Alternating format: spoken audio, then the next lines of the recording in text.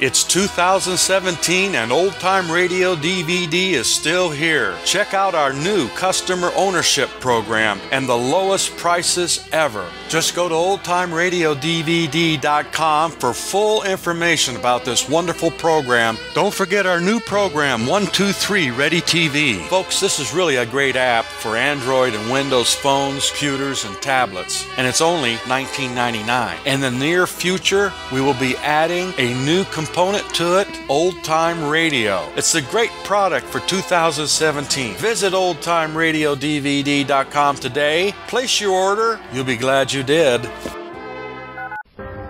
Mystery Theater presents Breaking Strain, the first of three by Arthur Clarke.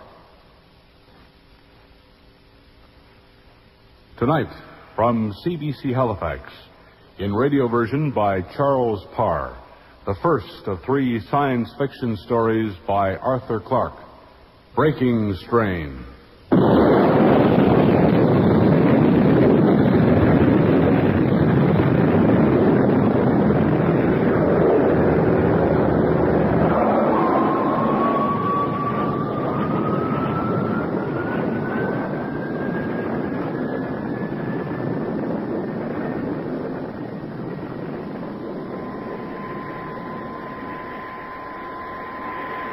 Is what I call the dead part of the orbit. What do you mean? Well, when Earth's so far behind, you forget what it's like. And Venus so far ahead that you don't care what it's like. People talk about the romance of the spaceways. you know, they've got no idea of the months of nothingness and boredom, if not even days and nights to give some idea that the time's passing. I wouldn't say boredom. We've got plenty to do. Well, yes, routine jobs. Nothing really interesting. They fill up time well enough if they're done properly. I'm due to tape the log now. I'll get the recorder going. Ready for the call over, Mac? Okay, shoot. Freighter Star Queen calling Venus Monitor Beacon. Freighter Star Queen calling Venus Monitor Beacon. Captain Grant taping ship's log, March 14th, 2046. Recording at 1100 hours 22 minutes, Earth Greenwich time. Orbit Earth to Venus. 115 days out from Earth. Planetfall at Venus due in 30 days. That is to say, April 13, 2046. Arrival time computed 1440 Earth Greenwich time. Speed 23,360 miles an hour. Atomic drive functioning normally. All maintenance routine. Checking carried out by Engineer McNeil. Air pressure inside hull. 14.4 pounds per square inch. Oxygen reserve. Hello, that's queer. I'll switch off the recorder. We can wind back to the previous question. What's up? There's no uh, no reading on the oxygen reserve. Here, let me try. She certainly doesn't flash. If we get all the liquid oxygen we want in the hold, must be the indicator wiring at fault. Yeah, I suppose that's it. Now, would you check up from the tank, Mac? Put a current through, see where the break is? Okay. And would you mind doing it right away? Yes, if you want me to. Well, it's not all that urgent, but if the oxygen reserve indicator's still not working before I finish taping this log, then I ought to mention it. But if it's put right before you play the tape on transmission, then you needn't. I get it. Right. Okay, Grant. I'll go and check. I'll be back in a minute. Uh, what about the log delay? I'll go on direct transmission. Tell them it's coming.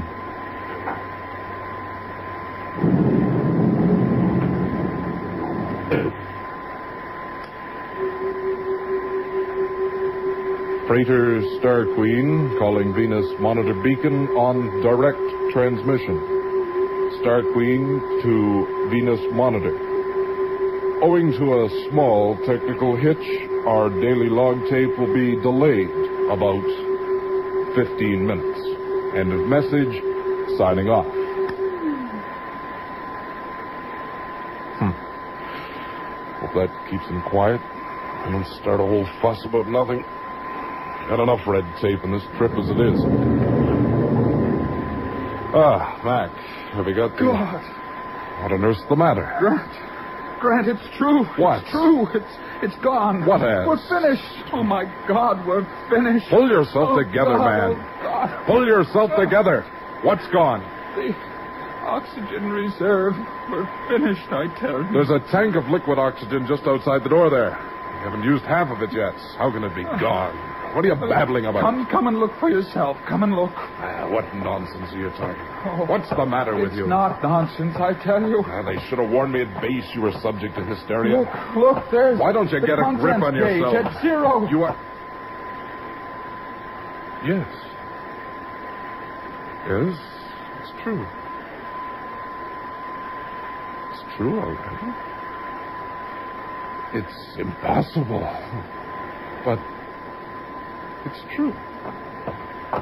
Where are you going? Control room.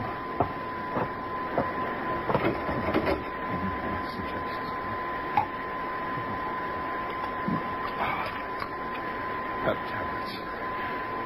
Set me up a bit. A minute. I, I'm sorry I made a fool of myself. I'll, I'll, I'll be better in a moment. Well, yesterday we had all the oxygen reserve we needed. Now it's gone. How? How? It was a meteor. How could it be a meteor? Oh, they're working already. What's working? The pills. I feel calmer now. Oh, damn your pills and damn your panic. I said, how could it be a meteor? And about the alarms? I just tested the air pressure for the log tape. It's normal. How could we have been hauled by a meteor? Oh, we weren't. Well, then, how do you. Oxygen's refrigerated in coils outside the hull. The meteor must have caught us sideways and smashed him without touching the hull, and the oxygen just boiled away. A million to one chance, and it had to be us.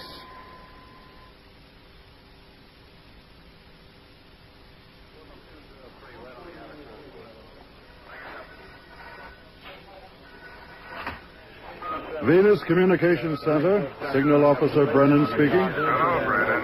Simic here. Yes, sir? I'm just winding up the daily report summary. There's nothing to be added from signature, Mr. No, sir, it's only the usual routine stuff. Right. Come in. Hello, Jack. Didn't know you were still on duty. What have you got for me? Your last job for the day? Yes, thank heavens. Shall I start her up? Oh, okay. Let's get it over with. Freighter Star Queen calling Venus Monitor Beacon. Star Queen calling Venus Monitor. This is an emergency call. Holy smoke! Do you hear that? Turn the volume up. The refrigeration coils of our reserve oxygen supply have been smashed by a meteorite. The whole contents of the tank have escaped. We estimate we have enough oxygen circulating in the hull to keep the two of us alive for 20 days. We have 30 days to go to Venus. Our orbit, speed, and fuel supplies are known to you from our previous daily logs. This is Captain Grant asking for any advice or assistance you can give to us. Signing off. Right. Go to Simic. Get rescue operations on the blower. Okay. And wait there. I'll give the general alarm and I'll be on the intercom. Signals officer, monitor beacon. Emergency call from Star Queen. Top priority. Clear all channels. Stand by for details. Brennan, Simic here. What's up? they've lost their oxygen reserve. Lost hold of it? Yes, sir. They'll be dead before they can get here. Get straight on it. Yes, sir. Acknowledge the signal. We will get back to them again in ten minutes. Okay, right away, sir.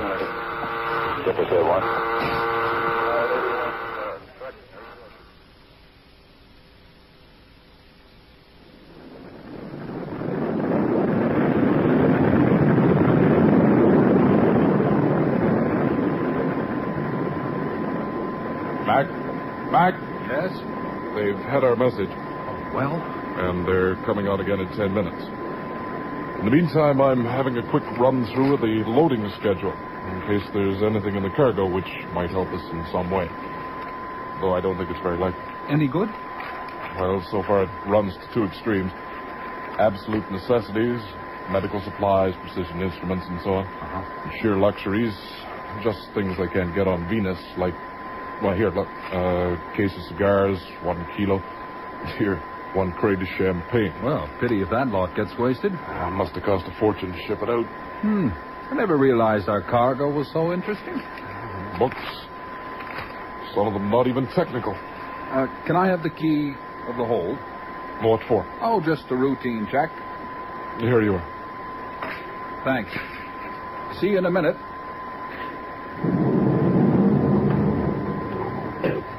Reels of microfilm, 204.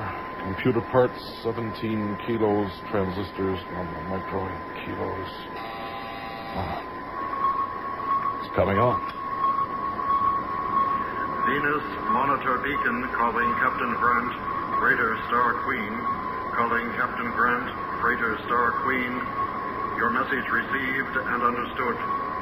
We are already communicating with technical experts, both here on Venus and on Earth, and we will do everything in our power to assist you. A two-way conference is to be held within the next hour between transport committees on both planets.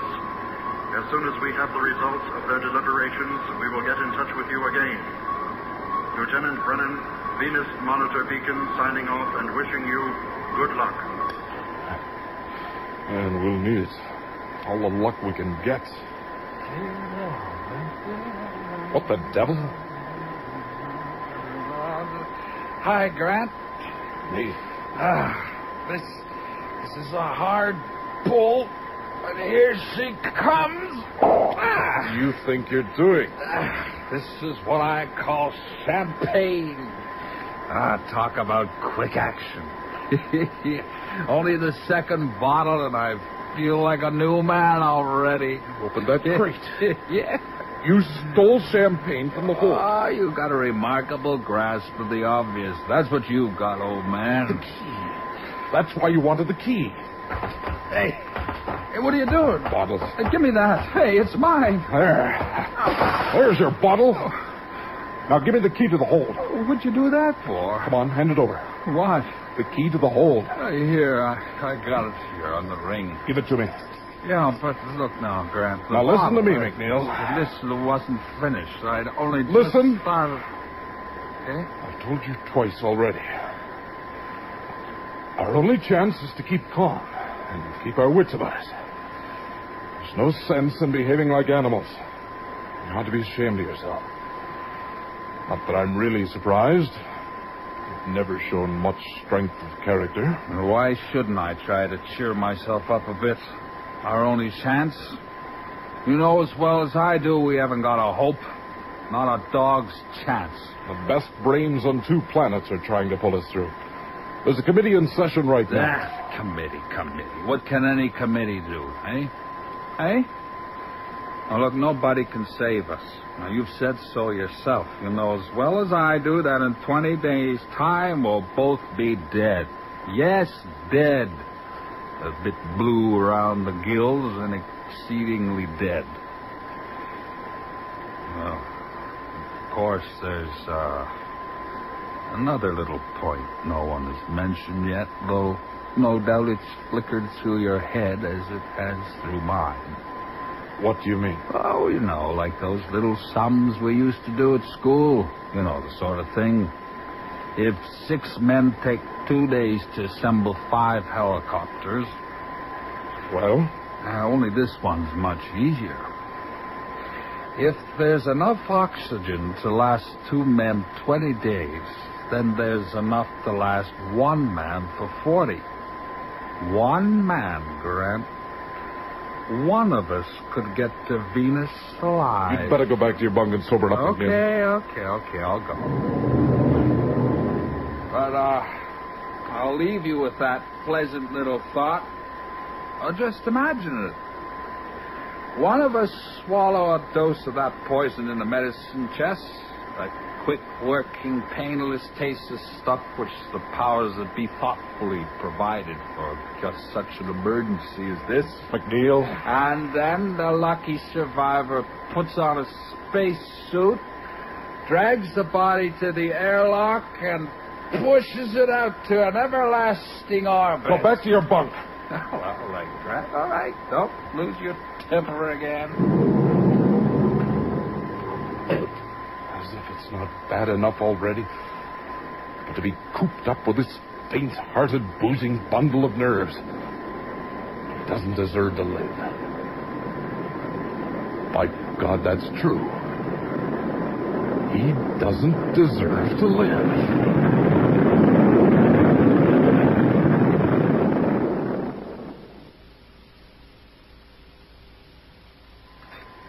Now or never. Now or never. Hello, McNeil. I'm getting some coffee ready. Want some? Well, if this latest crisis is over already, yes. Um, Yes?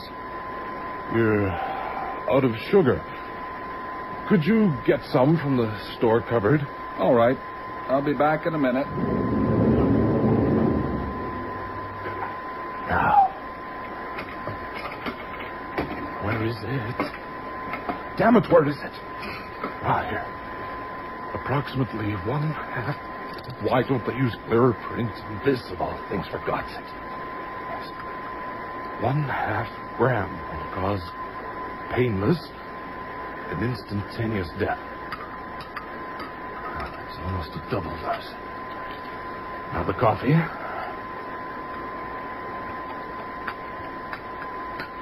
Phew. Oh, God, the bottle. It idiot. Leaving it out on the table right under his nose. Well, here's the sugar. Good. Uh, two for you, as usual. Please. Ah, Here you are. Thanks.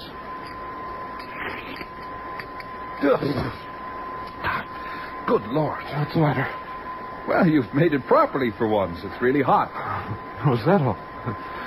Did you... uh, Did you taste it? Oh, only a sip. Hey, you seem edgy. It's unusual for you. Uh, do I? Uh, it must be this foul air. Uh, hey, aren't you drinking? Oh, in a moment, when it cools off a bit. Uh, Grant, Yes. there's something on my mind. What do you mean? What is it? Well, I'm thinking about this proposition that one of us might reach Venus alive if the other. Yes, uh, I, I know. Well, I, I was a bit tight when I spoke about it.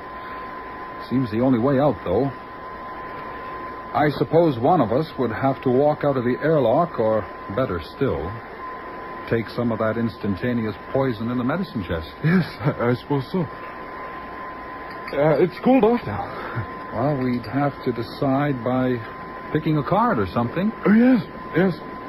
Yes, well, we we must talk it over.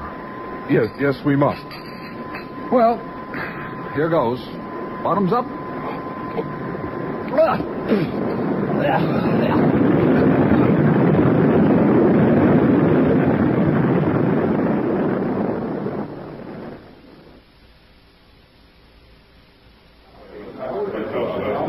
Gentlemen, if I may have your attention for a moment. Just a moment, please. There are a couple of points to which I ought to draw your attention. You all heard Captain Grant's message about the dreadful decision which had to be taken aboard the Star Queen. Although he was correct in saying there was enough oxygen left for one man, the air did in fact become very foul indeed in the last few days. Is the survivor here yet? I'm coming to that. The freighter came into orbit around Venus at 7:20 this morning. The survivor was in very poor physical condition, and he was taken off the Star Queen and brought down by rocket tug. Excuse me a moment. Yes? For five minutes? He can come in right away. He's coming in now. He's been in the hospital ward. They make the condition he mustn't be questioned for more than five minutes. I can't help it. It's doctor's orders, not mine. So please, let him off lightly at this first interview. Here he is. Here he comes. Good for you. Well done. I can't tell you how glad we all are to see you safe and sound, McNeil. Thanks. Here, here. Here, here. Thank you, all, all of you. I've explained to these gentlemen of the press that you'll do your best to answer their questions for five minutes only during this first interview. Okay, Brennan. Five minutes is short enough. Let's get on with it. Uh, Mr. McNeil, first of all, the question which everybody on two planets is asking how did Captain Grant take it? He, uh, he took it calmly. Very, very calmly indeed. Captain Grant was a brave man. It was a great pity he had to go. How was the body uh, disposed of? The airlock. Would you mind speaking up? I. I had to push it through the airlock. What was the worst difficulty you had to contend with when you were on your own? Oh, working the controls. Well, why was it difficult to work the controls? I mean, not not physically difficult, but working out slowly all the things I I normally have at my fingertips when when I'm in when the when the air's Hold it, hold it. Here, here, sit down. Gentlemen, I think you'll agree that Mr. McNeil is in no condition to face further questioning. I suggest we leave him here for at least an hour to rest and recover. Will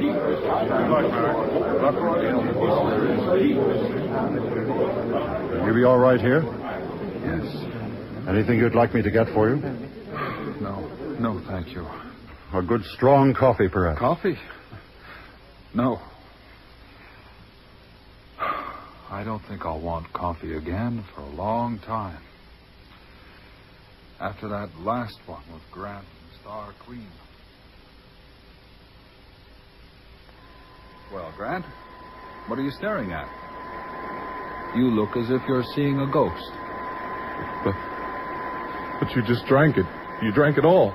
Of course I drank it, and I wish I could get rid of the flavor of it. I thought better of you, Grant. What do you mean? What do you think I mean? This little attempt of yours to poison me, of course. As a matter of interest, when did you decide to kill me? Just now. You know, by rights, I ought to work myself up into a temper now and call the monitor beacon and denounce you to the authorities. But uh, I've never been much good at losing my temper. Well, what do you intend to do now? Well, before we were interrupted by the uh, coffee episode, we were discussing ways and means of one of us saying goodbye so that the other might get to Venus alive. You don't mean carry on just as if nothing had happened? That's exactly what I do mean. It doesn't make sense. You've got something up your sleeve. Look, you're in no position to accuse me of plotting anything. Now, I suggest we decide which one of us shall take poison. And at this time, it'll be the real thing. so you changed it. You put something else in the bottle. Of course. I saw it coming even before you did. I thought about 15 ways in which you could have killed me on this ship. It quite helped to pass the time to work them out. Poison was so obvious, it was the first thing I fixed. Well, there's not much left to say now, is there? And you're willing to start all over again. You'll take the poison yourself if you lose. Yes. And don't think I'm just being noble and turning the other cheek. I suppose in acting like this, I, I don't fit neatly into your preconceived picture of me. Well, let's say I've got my own ideals and I like to stick to them. As far as possible, I try to act like a civilized, rational being. Does that include What? That doesn't matter. Oh, now. I know what you're thinking. The champagne. Well, that's one thing I don't regret. A civilized man should always know when to get drunk but perhaps you wouldn't understand. There's a new pack of cards in the drawer somewhere, isn't there? Yes. Here we are. Shall we say the lowest card is the one? If you like. There, all shuffled. I've never exactly taken to you, Grant. But I've often admired you, and that's why I'm sorry it's come to this. I admired you most of all the day of the accident. I didn't behave very well, but uh, well, the shock of it knocked me over. Knocked us both over. In different ways, I guess. It was a surprise in my life to see you cracking up. Here, cut.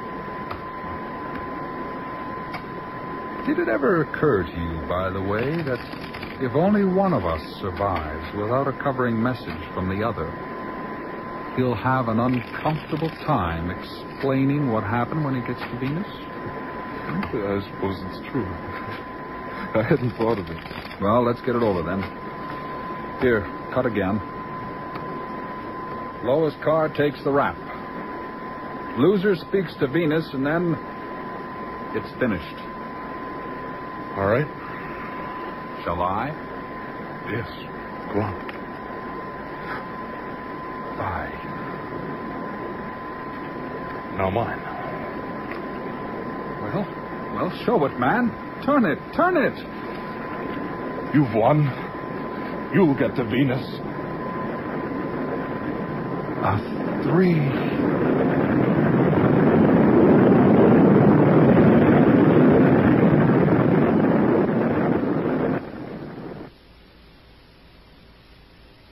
Well, McNeil, do you feel better after that few minutes rest? Uh, yes, uh, a bit. You know, I've got a real job keeping those press boys in order. They're still milling around downstairs. I'm not letting them in here again, but they've asked me to put one more question to you. May I? If you like. Well, then, what's your feeling or emotion at this moment after such a terrible experience? What sensation is uppermost in your mind? Just being alive.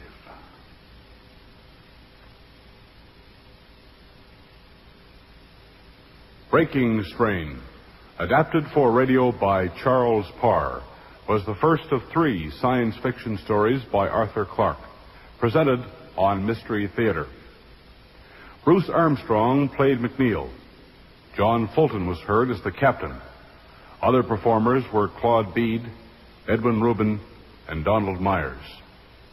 Sound, Harold Porter and Lee Bailey. Audio, Bud Tabor.